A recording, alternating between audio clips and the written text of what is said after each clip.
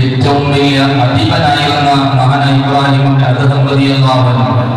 പതിനെട്ട് രാജ്യങ്ങൾ ഭരിച്ച രാജാവായിരുന്ന മഹാനായ ഇബ്രാഹിം അദ്ദേഹം റളിയല്ലാഹു നല്ല സുഖയോടെയും ജീവിച്ച സുഖാഡംബരത്തിൽ ജീവിച്ച തന്റെ രാജകൊട്ടാരത്തിൽ എന്തിനും അധികാരവും അതുപോലെ തന്നെ എന്തിനും ആവശ്യമുണ്ടെങ്കിലും എന്തും ലഭിക്കുന്ന ആ രാജകൊട്ടാരത്തിൽ തെരഞ്ഞെടുപ്പണികൾ അടക്കമുള്ള എല്ലാ സുഖ സൗകര്യങ്ങളുള്ളതായ ആ ബൽഹയിലെ അധിപനായ മഹാനായ ഇബ്രാഹിം അദ്ദേഹം റളിയല്ലാഹു തആല അൻഹു അങ്ങനെ ജീവിച്ചു കൊണ്ടിരിക്കുന്ന സമയത്ത് ഒരു ദിവസം മഹാനായ ഇബ്രാഹിം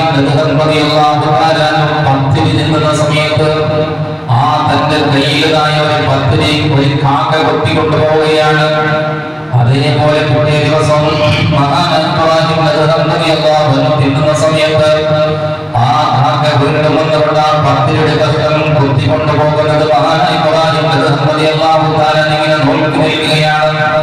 മൂന്നാമത് ദിവസം ഇതേപോലെ സംഭവം സംഭവിച്ചപ്പോൾ മഹാനായ ഇബ്രാഹിം റളിയല്ലാഹു അൻഹു ആ ബൽഖയിലെ അടിമനാണ്.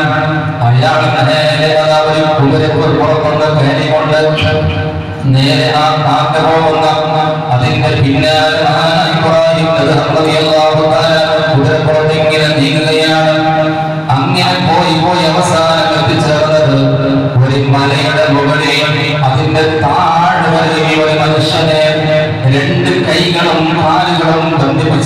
നിലയിൽ മഹാനായ ഇബ്രാഹിം റളിയല്ലാഹു തആല കാണുകയാണ്.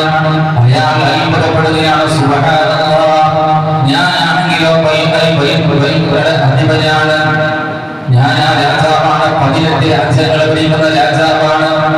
എന്നിട്ട് പോലും ഈ ഒരു മലയുടെ താഴ്വരയിൽ ഒരു പാവപ്പെട്ടതായ ഒരു മനുഷ്യൻ ഇരിക്കുന്ന രംഗം ഞാൻ അറിഞ്ഞില്ലയോ